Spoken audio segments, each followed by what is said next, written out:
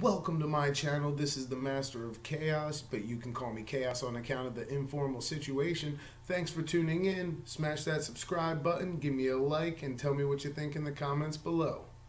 Enjoy.